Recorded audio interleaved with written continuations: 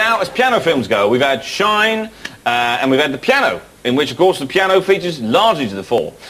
What I think we need, though, we need some action piano films. You know, like this. A man with no identity. A government secret locked inside an old heirloom. Nobody thought that you'd be able to do that with an instrument like that. Arnold Schwarzenegger is the piano tuner. And the semitone out!